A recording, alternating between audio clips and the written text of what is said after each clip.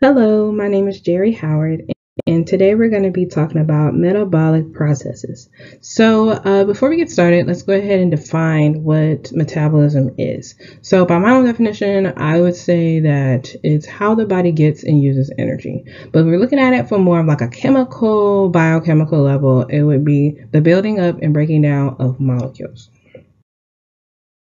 So there are two types of pathways that we're going to be talking about. Um, the first one is anabolism. So anabolism is um, the synthesis of larger molecules. So it's making smaller molecules into larger molecules, and it requires energy. And so uh, catabolism is the breakdown of larger molecules. So you have one larger molecule and you're making it into smaller molecules and it releases energy while in the middle of that.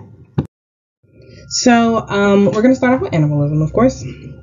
So uh, like I explained before, it's uh, smaller um, molecules plus energy becoming larger molecules.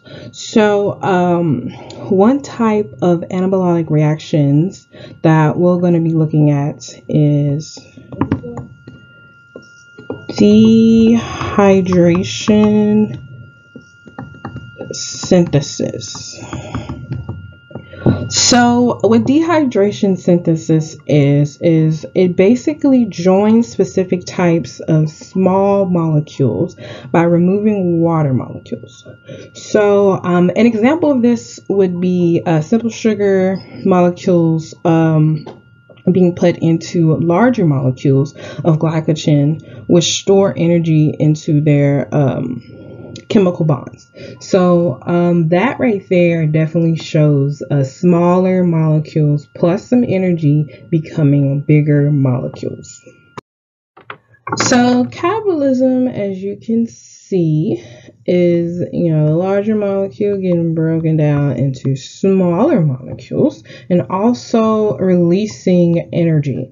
So this energy right here, about 60% of the time it's going to be heat. Oh, let me spell that better. Heat. And um, the other 40% of the time is going to be energy used um, for various things uh, with the cell. So, um, a process we're going to be talking about within catabolism, um, a catabolic reaction, if you will, um, is called hydrolysis. And so um, hydrolysis is literally the reverse or the opposite of um, the dehydration synthesis that's in anabolism.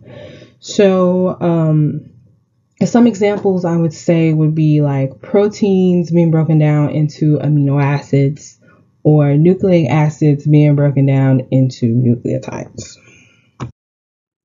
So uh, this is this is an example of both pathways working um, at the same time. So if you look at this uh, going this way, so left to right, you'll see that anabolism is taking place. So you see that uh, two small molecules are happening right here, and so um, when you combine them, you get one big molecule, which is this uh, triglyceride right here. So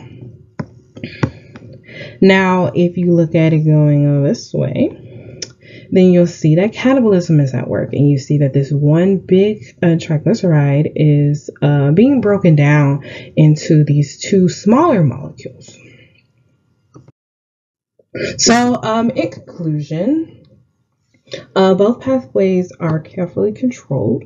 So uh, they're controlled so that each reaction occurs at rates that are adjusted to the requirements of the buildup um, or in energy using reactions.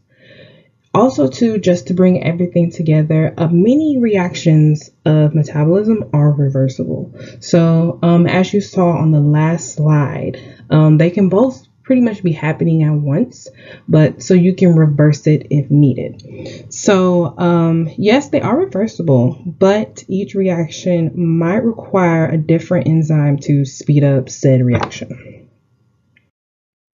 And these are my citations. Um, I have citations for the information and for the pictures.